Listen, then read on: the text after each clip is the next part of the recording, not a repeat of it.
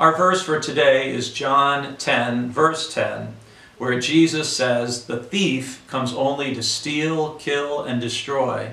I came that they may have life and have it abundantly. In this verse, which is part of Jesus' Good Shepherd discourse in John chapter 10, he's contrasting himself with other messianic pretenders, if you will. There's always people who arise and say, I'm the one you should be listening to. I'm the one that God has sent. And what Jesus is doing by connecting himself to this image of the Good Shepherd is he's connecting himself to an image with deep, deep roots in the Hebrew Bible. Most of us are familiar with the 23rd Psalm. It's probably the best known psalm in the Bible, where it, it begins by telling us, The Lord is my shepherd.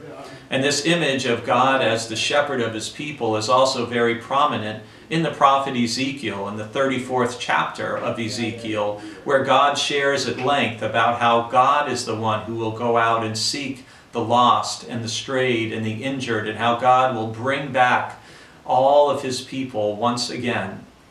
So Jesus is connecting with this image that his people would have had of God being like a good shepherd. And he's also not a hireling, which is another word that is used in John chapter 10, where Jesus says someone who's just hired to do a job of looking out over the sheep doesn't care for the sheep in the same way as the shepherd who owns them, who sleeps with them, who watches over them day and night.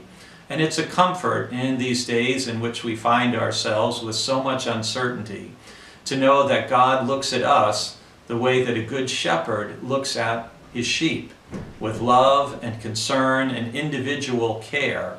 And shepherds even have often a particular whistle or voice, and the, shep- and the sheep will come to the sound of their shepherd's voice and not to the sound of a stranger. And that's something that Jesus talks about also in John chapter 10. I find it very comforting to know that part of why Jesus came was that we might have abundant, eternal, joyful life. And who wouldn't want all three of those things? Who wouldn't want to spend life under the guidance of our Good Shepherd, Jesus?